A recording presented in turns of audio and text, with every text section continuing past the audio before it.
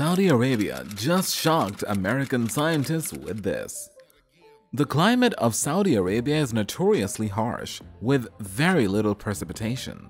The terrain has been extremely barren due to its composition of largely desert and partly arid lands. The desert, however, is experiencing a stunning event at the moment. Even scientists have been taken aback by the quick transformation of deserts into arable land. When did this desert become so active? To find out, keep watching the video. Knowing how dry this country was in the beginning would be helpful before we get into the causes of the increasingly remarkable farmlands in Saudi Arabia. We always thought of Saudi Arabia when we thought of extreme heat, dryness, and deserts. This is accurate. The world's largest desert, Rub al Khali, covers a staggering 650,000 square kilometers and is located in Saudi Arabia. In reality, this was on the scale of the entire nation. Do you know that this country, which is the 14th largest in the world, covers an area of 2,140 square kilometers, but has not a single permanent river? If you feel like you've heard it all, calm down. This is only the beginning. It was mentioned earlier that Saudi Arabia is a country with low rainfall. There has never been an annual rainfall in the country that was greater than 150 millimeters.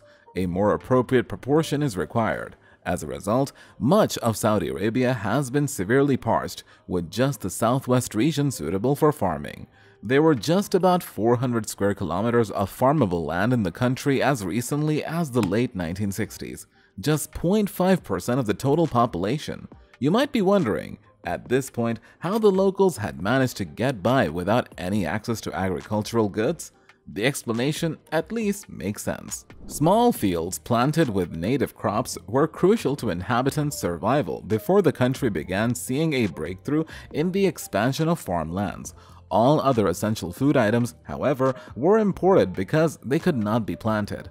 Only in the most confined of coastal strips could food staples like dates and vegetables be farmed. This restriction was disappointing given the size of the country. Let's talk about that amazing oil dam right now. A vital component of Saudi Arabia's rapidly expanding cropland. Despite the country's water shortage, more is desperately needed. It turns out that Saudi Arabia has the largest oil resource of any country in the world. As the adage goes, God put something special in everyone. In March of 1934, somewhere in Saudi Arabia, a substantial volume of crude oil was discovered in the dam oil field. Proving this theory correct, there were 1,440 meters of depth to the dam. That's why it didn't take long for the countries to amass 17% of the world's proven oil reserves. It was estimated that there were about 75 million barrels of oil in this reservoir. The government of Saudi Arabia reasoned that it could accomplish more because of the country's huge oil revenue. This marked the start of the miraculous process that led to a dramatic expansion of arable land. The Kingdom of Saudi Arabia has joined the ranks of the new seven wonders of the world. This is because a region that was once a major hub for important food supplies is now a major hub for exporting wheat, dates, dairy products, eggs, fish, poultry, birds, fruits, vegetables, and even flowers. How, though, did a country composed almost entirely of desert go from being a food importer to an exporter? We don't know what the Saudis are doing, so tell us. Despite how it looks, the transformation of Saudi Arabia's deserts into farms is therefore no miracle. While a bit of good fortune plays a role, the Saudi Arabian government's careful planning and execution of several policies and programs ultimately led to this shocking phenomenon. What did they do, though, exactly? Well, stay with me, and I'll explain how a desert was transformed into productive land by a combination of careful planning and a few strokes of luck. They began by spending a lot of money on technology. This is because all of the resources necessary to turn arid terrain into arable ones required modern machinery, massive investment in programs that encourage cutting-edge farming technologies, and rural infrastructure has completely changed Saudi Arabia as an agricultural powerhouse. Despite Saudi Arabia's enormous oil wealth, the government has not been resting on its laurels. Instead, the nation's wealth has invested in expanding agricultural opportunities. The government invested heavily in factories that made dairy products, meats, and poultry. In terms of agricultural goods like beef, milk, and eggs, the country was swimming in self-sufficiency by 1985. They were able to sustain themselves economically and become major exporters of agricultural goods. Milk production peaked at around 1800 gallons per cow per year during this period as well. Fish farming also increased in popularity. These farms took up residence on both land and in water. These fish farms allowed for the cultivation of seafood to be produced. The prawns in particular were quite beneficial to the economy of the country. This led to Saudi Arabia's emergence as a major supplier of prawns to markets like Japan and the United States. The black tiger prawn breed did very well in terms of sales. The Saudi government's initiatives also led to the country's rapid transformation from a wheat importer to an exporter. Wheat storage facilities constructed in 1978 allowed for self-sufficiency by 1984. Wheat yields in major grain-producing regions have increased to around 3.6 tons per acre. Other cereals like barley and millet were also cultivated. Eventually, farmers were forced to reduce their grain output to protect their water supply.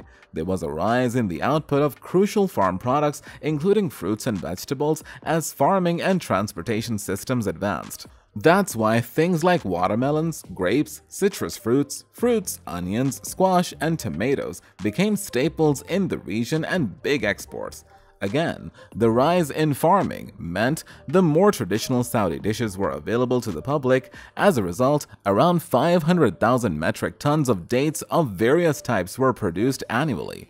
Soon, several plants around the country began cranking out thousands of tons of dates to send around the world to combat hunger and poverty. In terms of food aid to other countries, the country became the second greatest donor to the United Nations. Being in Saudi Arabia must feel great right about now. The government's willingness to encourage local farmers also contributed to the quick improvement of the country's architectural status. They did this in several ways, one of which was giving farmers access to zero-interest loans and helpful resources. The farmers were once again able to import raw materials and farming equipment duty-free, and they had access to cheap water, fuel, and electricity. The government was also prudent and kind by providing investors with tempting incentives. Therefore, foreign joint venture partners did not have to pay taxes for a period of up to 10 years. The April 2000 investment laws established even greater incentives. The country's Ministry of Agriculture deserves all the credit for enacting laws that have been beneficial to local farmers, without which none of this would have been possible. The Saudi Arabian Agricultural Bank, SAB, also maintained its zero-interest lending and subsidy programs for farmers. In addition, in 1972, organizations were set up to operate grain silos, construct flour mills, and manufacture animal feed. Modernized roadways were built to link farming communities with urban centers and consumer markets, supporting farmers with high capital demands. The government also launched capital-intensive initiatives, which contributed to economic diversification, new food crops, higher crop yields, and improved methods for pest resistance were all made possible thanks to government funding for scientific research. Agricultural research institutions at various colleges also served as a hub for cooperation between local farmers and scientists.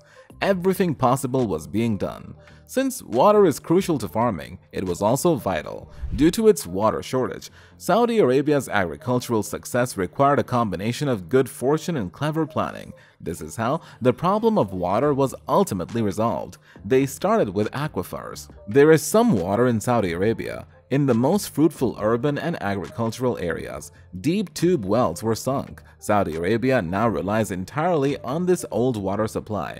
The Saudi Arabians are using the aquifers as a primary source of water in their quest for Greenland. The country was able to make the most of its marine resources once again. The government quickly began desalination efforts due to the abundance of coastline in the Persian Gulf and the Red Sea. This resulted in the rapid desalination of ocean water for human use. Therefore, the Saline Water Conversion Corporation SWCC managed over 27 desalination facilities across the nation, providing over 3 million cubic meters of drinkable water every day. In the end, the government developed a solution to the water crisis that is now widely used, electric power recycled water, in this procedure, water destined for household consumption was recycled. Because of this, factories dedicated to water recycling were constructed in the nation's capital and other major industrial centers. Reclaimed water is being used for watering crops and pastures. The availability of water for farming was greatly enhanced by these procedures. This video has reached its conclusion. What do you think of the fact that Saudi Arabia's deserts are gradually turning into verdant farmland? Thanks for watching! If you want more videos like this one, make sure to like the video and subscribe to our channel to never miss out on any of our videos.